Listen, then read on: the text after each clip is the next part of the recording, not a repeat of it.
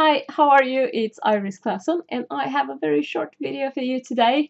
It's been a little while, uh, I've been a little bit sick, I've had a very persistent cold, yes, in the middle of the summer, uh, and as you can hear my voice hasn't quite recovered, but I hope that's okay. Nonetheless, I came across a little problem today and I found uh, um, a solution of sorts and I thought I'd share it with you in case you've had the same problem as me.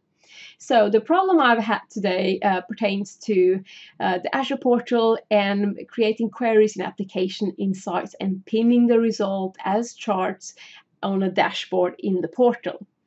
Now, when you use the Azure Log Analytics query language, which is a really cool language, very, very powerful, that also has some uh, machine learning functions that you can use, and I've blogged about it if you're interested about that. When you use that query language in the query editor and you get some results, you can pin the results to a dashboard in the portal. Uh, you can have it as a chart or just the rows it's pretty neat. So you have these dashboards you can choose between. So uh, I've created several dashboards. We have one for our quality and uh, blah, blah, blah, blah, blah quality assurance quality assurance environment. I have one for our um, uh, AT environment, one for our production environment, and, and so on.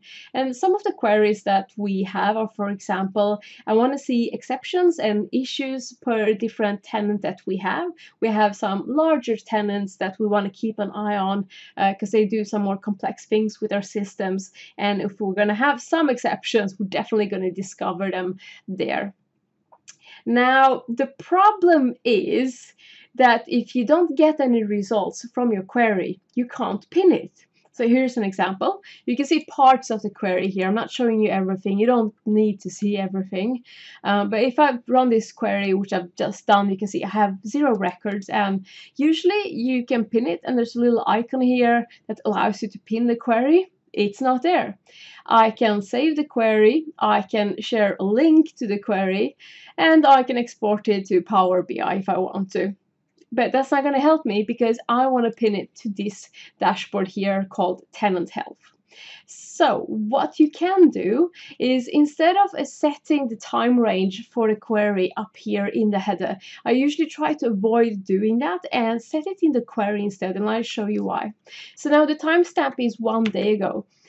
The result that I want on the dashboard is from the previous say two days or one day. I'm not interested in having for, for example, for two weeks, which is as far back as you can go when you when you pin a chart um, to a dashboard. But I'm going to do that nonetheless. And I'm going to run the query. It's probably going to take a little bit of time. Or, ah, there we go.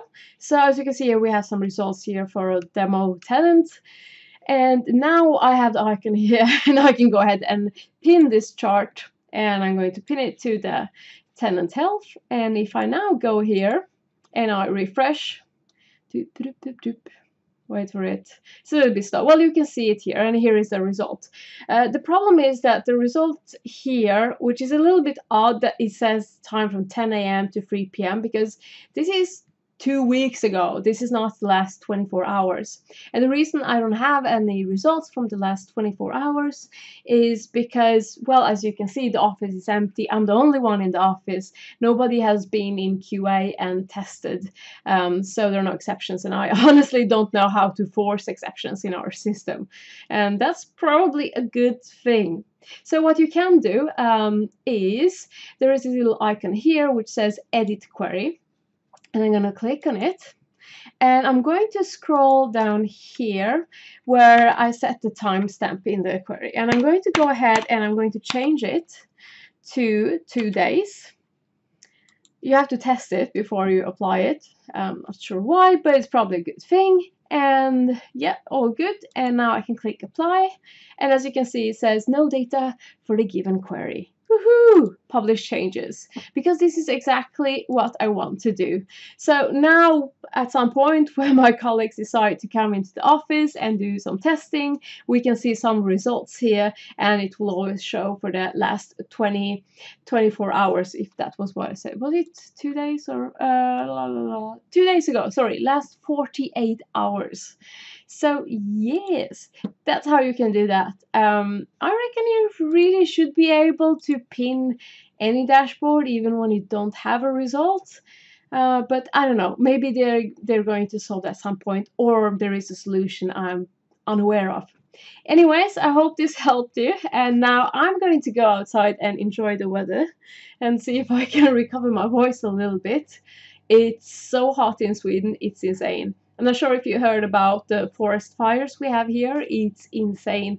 And it's the hottest summer for as long as we've recorded temperatures in this country, which is 250 something years. So, yeah, I, I like the heat and I, like, I love the warm weather. But at the same time, it's really uncomfortable that the weather is changing this dramatically. Uh, I'm not sure that's a good thing pretty sure that's a bad thing. So I really, really hope this is just like a temporary thing. But nonetheless, I'm going to enjoy the weather and the sun and I'm going to go out for a swim.